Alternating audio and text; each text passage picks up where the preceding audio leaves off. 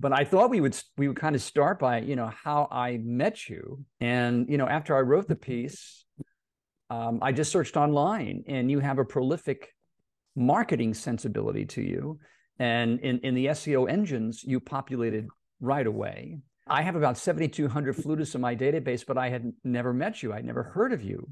So it, it was very exciting to go to your website and uh, and hear you play and see you. And I thought, let me share this with you. And wouldn't you know, this delightful collaboration just took took took off. I've been very grateful ever since. So I I, I thank you thank you for the relationship and our and our future friendship uh, with you and your husband. Thank you so much.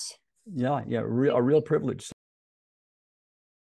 I started to play music since I was four uh, in Ukraine. In Ukraine, and then since six, I entered to special musical boarding school uh, in Ukraine, named after Solomia Krushelnitskaya, the opera singer. So there are only four schools like that in Ukraine for extra gifted uh, kids uh, who have musical talent. And then the school is like 11 years, which includes elementary, uh, middle, high school, all in one place. It's all music, accent on music. But we also had other classes like geography, chemistry, physics, solfeggio in between, music theory, uh, music harmony, and then after all of that, we had we would have I would have my flute class, flute lesson with my teacher and piano lessons. So that took me 11 years on that. And then I moved to Kiev, which is capital of Ukraine, uh, and fi I finished in, in there my bachelor and master's degree in Music National Academy of Ukraine, named after Tchaikovsky. After that, I got invitation for uh, audition, and I came here, and then I realized how my English was bad and and everything after another. I i got english classes and and then i figured out that here is roosevelt university and and then i got my perf- solo performance diploma in, at roosevelt university with uh, professor graf. He was at the time principal flutist in chicago symphony. The courage it took you to leave your mother country and come to a very big city without a command of the English language. Can, can you just talk to other students who may have the same interests, travel from a foreign country to learn English, which is not easy? Uh, tell us about the courage. What, what, what, where does that come from? Well, it came from since I was a little child. We were watching um, the uh, Cartoon Network, some American channel with cartoons and American movies. And I was just so obsessed with American culture, uh, including American music. And I just had a dream to come to United States um, and live here. And that dream was just following me all the time. And then when I had opportunity, I didn't even think twice about it. The advice would be if you want something strongly, just do it you know when you have a talent and, and a dream and it just like eats you up you have to do it. You have no choice. What were those choices you did make after your formal education? Now you're in america. Um, you have to pay your fixed and variable costs. How, how did you manage that? How did you adapt and be able to practice and be able to market yourself? And what what was your process? What were you thinking? Well i was thinking first of all i didn't have a lot of contacts and for me to somehow you know let people know that i'm a flutist here have you know opportunities to play somewhere meet different flutists meet professors maybe somebody would recommend somewhere. Participate in competitions was one of the key uh, steps i would say where i was able to perform I want Luminarts, they were really helpful as well. Uh, they do a good job with marketing and inviting places. They uh, support talented young people who are uh, in between a gap between uh, education and professional life. They support financially. Then another competition I won during my education was uh, Classics where they gave me uh, opportunity to record my CD. That's as well a big step. So I would say a big part of competition and participating, applying. So outside of marrying your husband is one of the smartest things you've done. what what what are the other things you look back on that you say, you know, those were wise decisions. They were intuitive, and I made the right decision. Could you highlight some of those for us? Uh, everything had a reason why it happened this way. I mean, I also have my two daughters, and this just happened, and I'm glad this happened because I don't think I would have enough courage to plan for it. but it's just, you know, everything has its own time. It's um, amazing how much uh, balance and proportion comes to life when you have children. A great step was Roosevelt University to see, um, you know, American uh, way of playing and learning performing. The education is different than was in in ukraine. Can you share a few points with our audience about how the education is different? The the the, the merits and demerits. I feel like in ukraine were better things that we had twice a week lessons for your major instrument. Here is just one per week you also have here a studio class. Another good thing was in Ukraine that we had assigned a accompanist that was going together with your professor. We didn't have to worry or hire somebody to play piano for you. You were already having somebody for free. So that's much bigger, I would say, advantage in Ukrainian education that, you know, accompanist piano player is very expensive here. I had to pay for extra rehearsals, uh, even for rehearsal in my class, in my lesson, flute lesson. So for accompanist to show up on my lesson, I had to pay for this. Where in Ukraine, that would be a common sense. The piano would be given. And you married a pianist. Well, my husband is actually a professional conductor and a trumpet player. Uh, he had a great career being a principal trumpet player in a symphony orchestra and as well i'm lucky that he's pianist as well playing for me my recitals. That's much helpful. Uh, i believe it was your husband who actually accompanied you for the premiere of the three ukrainian pieces? Yes. And and he's american? Yes. You know don't don't be timid. Get on the get, where are you?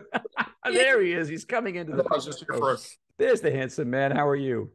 I'm fine. Thank you but very nice to meet you, and thank you for performing the music, sir. You know, really. Uh, it's an absolute pleasure. We love the piece. We love learning it. We love the working on it, and uh, hopefully, we have a nice uh, uh, finished product for you.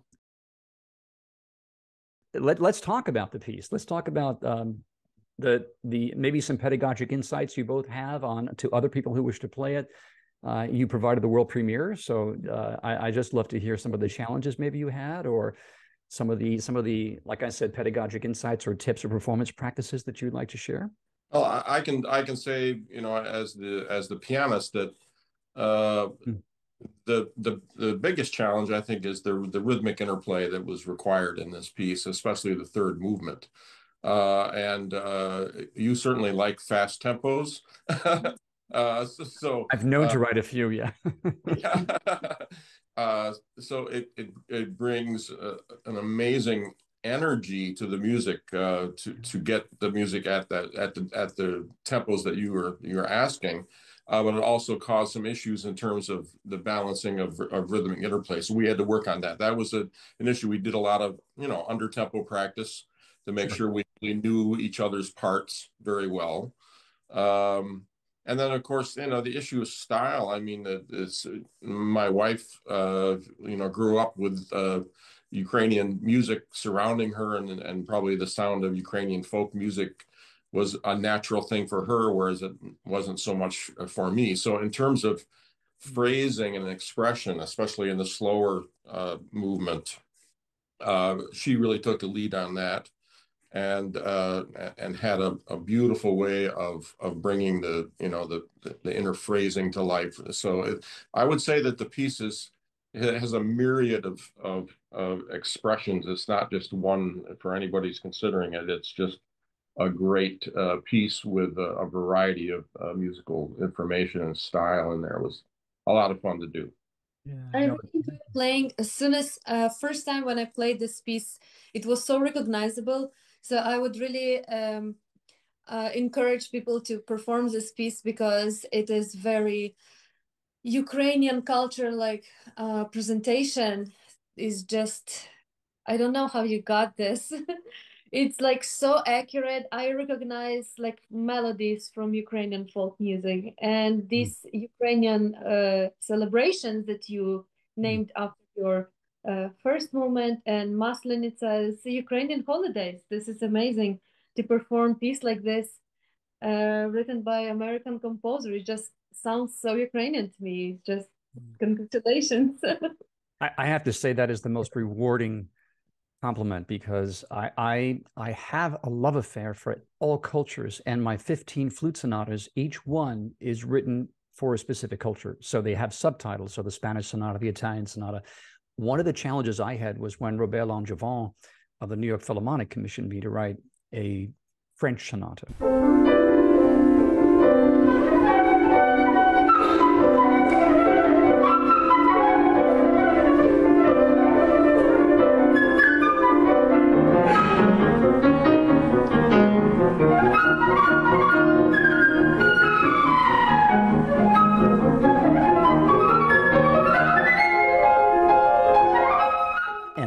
Was very difficult to culturally get into the French space. And I used a pitch collection similar to, to the dodecaphonic period, but in my own way. I romanticized it and I based my work on Toulouse-Lautrec's Circus Prince of the Moulin Rouge. And it took about a month of hard mental thinking before the idea startling came to me so I could modernize a French neoclassical style. And then the other challenge I had was my wife's recital. She's got a doctorate in flute performance and she's Norwegian. And like Ukrainian music, Norwegian music is a is a violin based folk music, correct? Yeah, absolutely. And, and Norwegian has a five string violin if you go back hundreds of years, and there's very little extant music. We have something from the 13th century. So I took little tiny motifs of that extant music from that early period, 800 years ago, and did my own modeling on them.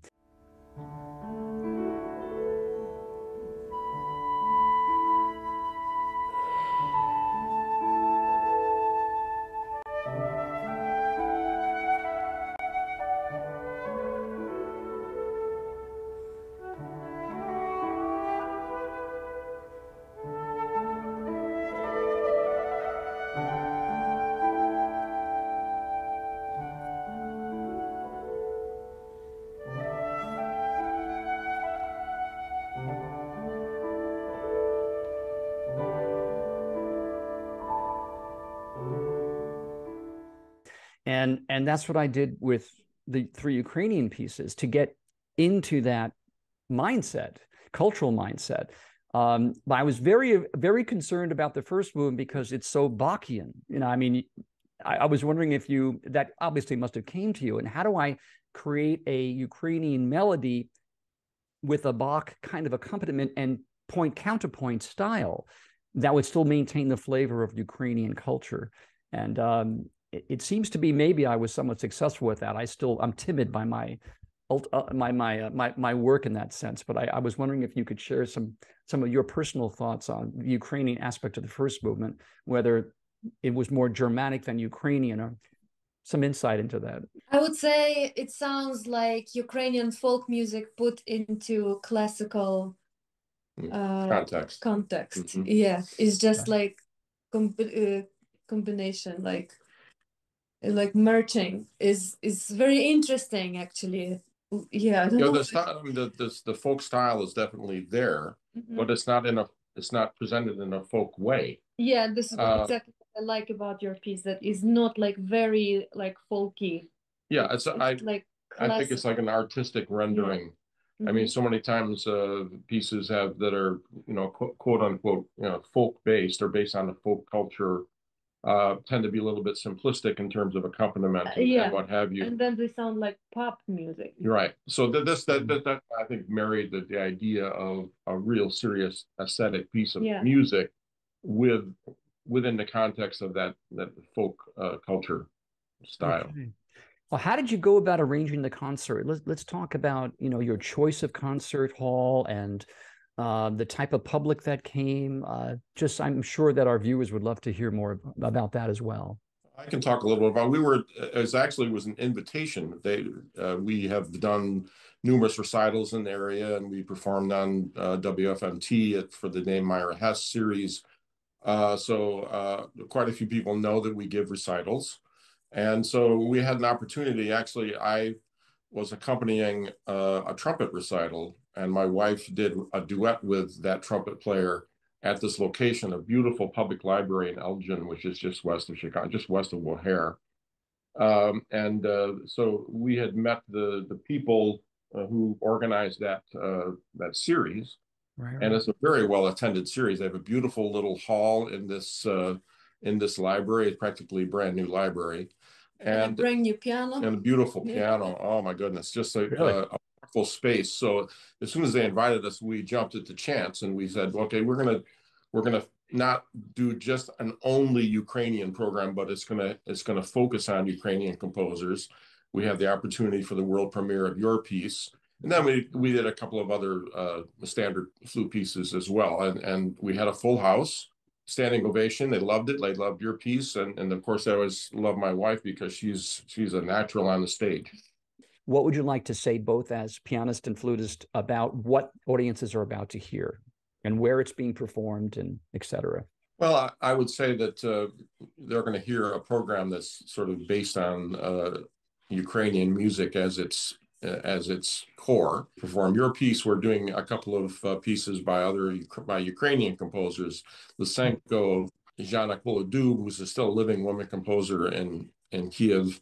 We're playing at a beautiful hall in a public library in Elgin, Illinois, and uh, we had a nice crowd, and uh, it was a, a, great, great opportunity for us to share a little bit about the music that, that my wife so dearly loves, and I'm learning to love. Yeah. Anastasiya, tell uh, flutists how you prepare for concerts. Do you have a particular, you know, your your your performance practice, your your rehearsal schedule? How do you prepare? Oh, with my husband, we have very specific. We like to make lists. we have very specific uh, list what we practice uh, when we practice. So we rotate those pieces because the amount of practicing is big. So we want to make sure that we give enough attention for each piece to make sure that we are ready for 100% and we just go according to the list and rotate the pieces like uh, yeah i would say that you we also do ind- obviously individual practice yeah. as well. We, we kind of zone into the spots that are difficult and we spend more time on that.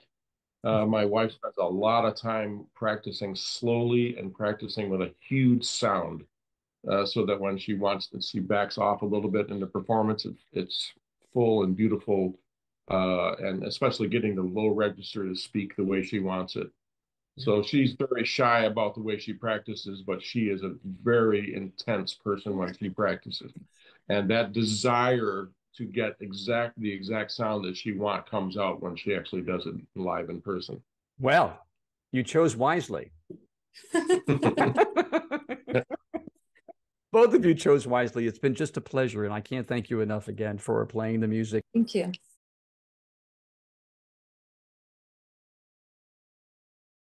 Register today at ChristopherCaliendo.com and get two world music publications for the price of one. That's right, select from our diverse catalog of world music tango americano, gypsy americano, flamenco americano, chamber jazz, western, film, sacred, and classical jazz. Enjoy hundreds of performances from our YouTube channel to make your selection process easier. Register here, simply add your name and email, and enjoy our two for one forever sale from our entire catalog. Uh, thank you to you for 25 years of Caliendo World Music.